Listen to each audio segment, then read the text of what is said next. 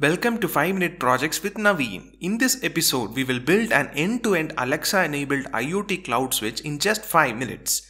ESP Rainmaker is Espressif's end-to-end platform which enables developers to realize their IoT ideas faster and without the hassle of managing the infrastructure involved.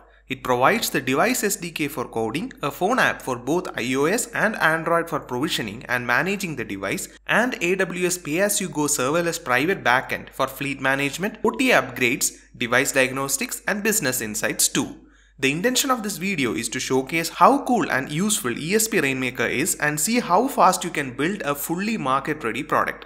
Thus, there won't be any deep code explanation or concept explanation. I will do another dedicated video for that. So what all things do you need? ESP32 dev kit board, relay module, jumper wires, latest Arduino IDE with updated ESP32 core board library. Optional things needed are access to a printer to print out provisioning QR code and stick it on the product, Alexa app on phone or an Alexa device. Let's get on with the implementation. Open the Arduino IDE, go to tools and set the following board configurations. Board as ESP32 dev module, flash size as 4MB, partition scheme as Rainmaker, core debug level as info. Now connect the ESP32 to your computer.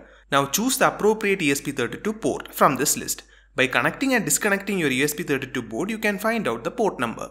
Now go to File, Examples and under ESP Rainmaker option, load the RMaker switch example code. Although as said earlier we don't go in depth into the code, let's do an essential overview. This line defines that GPIO 16 is used to switch the relay module on and off, thereby controlling any high power appliances connected to it. GPIO 16 in the board is labeled as RX2 on the board. Now scroll down and you can see the methods that handle OTA update. And further down when you go, you can see that there are instructions included for hard reset and reset Wi-Fi. For hard reset, you need to press the boot button for 10 seconds and for Wi-Fi reset, you need to press for more than 3 seconds but less than 10 seconds. Now let's compile and upload the code as shown here. Once uploaded, go to the serial monitor and make sure that you are at the correct baud rate. Now you will see a link at the end. Load the link on a web browser and you are greeted with a QR code. This is just like any product and is used for provisioning. You can take a miniature printout of the QR code and stick it on your product's enclosure or in my case on the ESP32 package itself. Now install the ESP Rainmaker app from Play Store or App Store and open the app. Then sign up and log in. Now click add device and scan the QR code. Now allow the pairing to happen. Now we need to enter in the Wi-Fi credentials. Now click start and let the provisioning finish. Once finished, it will automatically show that the switch is added. Now let's interface the relay module to the ESP32. Remember, you can connect any high power appliances to this relay module which needs to be controlled. So now connect the VIN pin of ESP32 to VCC, ground pin to ground of the relay and RX2 of ESP32 to IN1 of the relay module. Now in the app, you can manually switch off or on by pressing here.